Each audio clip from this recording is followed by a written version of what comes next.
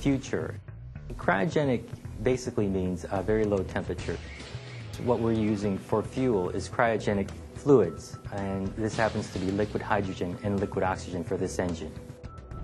The liquid hydrogen is a frigid negative 240 degrees Celsius as it enters the engine, where it is combined with liquid oxygen. The liquid hydrogen that we cool the thrust chamber with is very cold. Randy Lida is the chief engineer for the CECE program. So some of the water that condenses out runs down the inside of the thrust chamber, which is very cold. And when it gets to the nozzle exit area, it's, it's allowed to freeze and can actually grow icicles up to a foot long as the engine's running. That's the cool cryogenic part of the process. But at the same time, the engine is firing hot, providing propulsion. The reaction between liquid hydrogen and liquid oxygen, w- once ignited, is a very dynamic um, chemical process and produces a lot of energy. When you burn liquid oxygen and hydrogen, it makes water.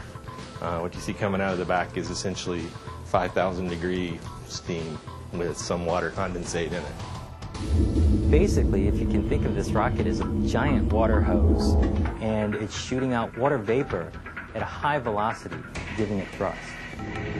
NASA wants to control that thrust for use in acceleration, deceleration, and controlling the flight path of Altair.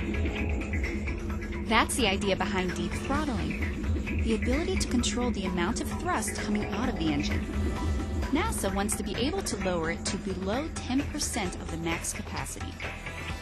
Recent tests have shown significant progress. In this test, we throttle the engine between 100% and 10%.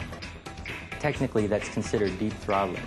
Uh, deep throttling is anything on the ratio of 5 to 1, which would mean going from 100% to 20%.